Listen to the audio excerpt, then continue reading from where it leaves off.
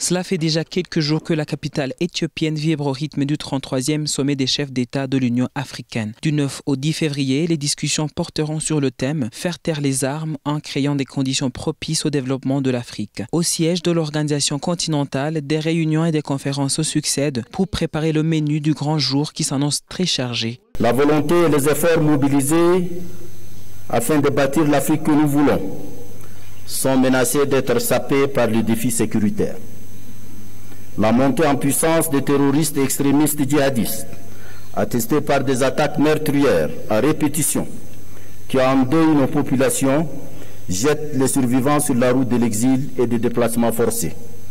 Ceci constitue un sujet permanent de préoccupation.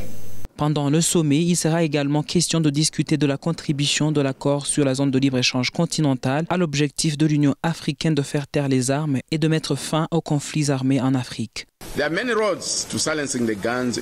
Il existe de nombreuses voies pour faire taire les armes en Afrique et la prospérité est l'une d'entre elles. La zone de libre-échange continentale, qui est un autre projet phare de l'agenda 2063 de l'Union africaine, peut être mise à profit pour assurer la meilleure prospérité possible pour les Africains. Et en même temps, ce projet pourra être un moyen de faire taire les armes. L'autonomisation des femmes, l'intégration économique et la bonne gouvernance sont autant de défis que devra relever l'Afrique du Sud, qui prend officiellement la présidence de l'Union africaine lors de ce sommet. La question de la sécurité en Libye s'annonce aussi comme l'un des sujets sur lesquels devront s'attarder les chefs d'État dans leurs discussions.